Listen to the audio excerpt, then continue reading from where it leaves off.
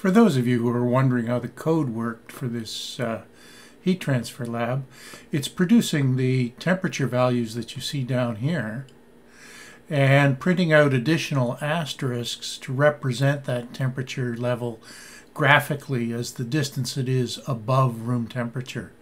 So we see that these are still about 40 degrees Celsius, although it's declining.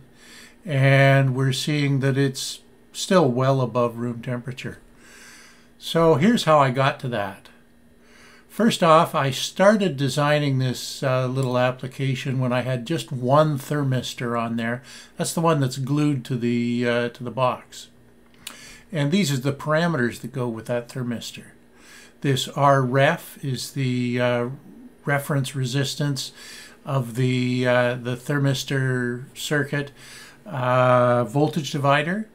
And the thermistor itself has a B value of 3095 and a nominal resistance at 25C of 10,000 ohms. And that T naught, 25C, is 25 plus 273 if we put it in degrees Kelvin. Now later on, I also added that uh, ring uh, lug thermistor that's bolted on to the to the package. And these are the parameters for it. So a very slightly different reference uh, resistance. A very slightly well more than slightly 3435 versus 3095 difference for the B value calibration coefficient. And still a 10,000 ohm nominal resistance at 25 degrees Celsius the same T naught.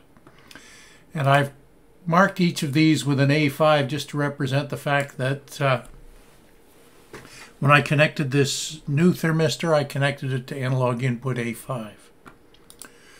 So in the setup, we start the serial port, wait until it's actually visible so that we make sure that we're actually seeing something, and set the analog read resolution to 16 bits. That's just to make sure that we get as uh, as high resolution a value as we possibly can.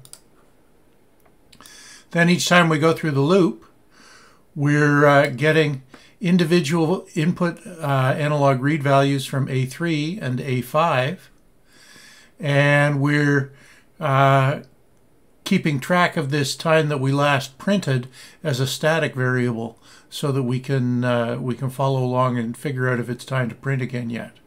So we're going around the loop really quickly. And each time we go around the loop, we're getting a resistance value uh, from the analog read input, uh, just using Ohm's law to figure out what the resistance was for the thermistor. Then we calculate the temperature based on the uh, relationship for the thermistor and the uh, B value and the T naught and R naught, the reference resistance and the reference temperature. And then we repeat the same thing, but this time doing it for the second thermistor. So we've got two values of temperature. Now, if the current time minus the time that we last printed out a value is greater than some large number here, what's that? Uh, 5,000. So every five seconds, sorry, 5 million. So every five seconds, it's going to print out a new value. So we set the last print value equal to whatever the time is now so that we're keeping track of when we last printed. And then just printing out temperature from the one thermocouple, temperature from the second thermocouple. And then this for loop here is going, and it's starting at 20, that is nominal room temperature, and going on as long as the value is less than the average of the two measured temperatures, it's incrementing by one.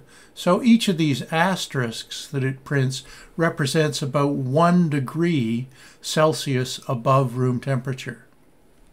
And then finally it prints an end of line so that it can go on to the next line. And it'll keep going around this loop really quickly, but only every five seconds will it actually print something out. And that's what we're seeing down here on the, uh, on the serial monitor output. So now that we're down to maybe only 7 degrees above room temperature, we've only got one, two, three, four, five, six, seven asterisks. So we've got a graphical indication in addition to our numerical values. This sketch captures a couple of valuable techniques. One is this checking to see if the serial has uh, been initialized yet.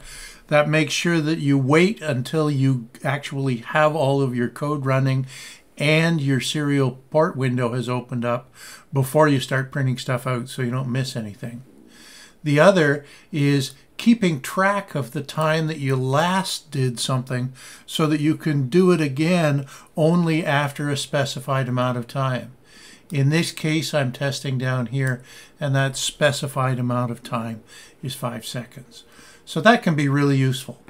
One thing to remember, of course, though, is always update the value of when it was that you last did whatever thing it was that you were doing, in this case, printing. Otherwise, you'll uh, you'll wait uh, for the first one and then you'll just do it continuously right after that. So I hope that helps explain this code. I bet you can do a better job of coming up with something much more interesting and, and detailed to keep track of the, the data that you're going to get in the lab.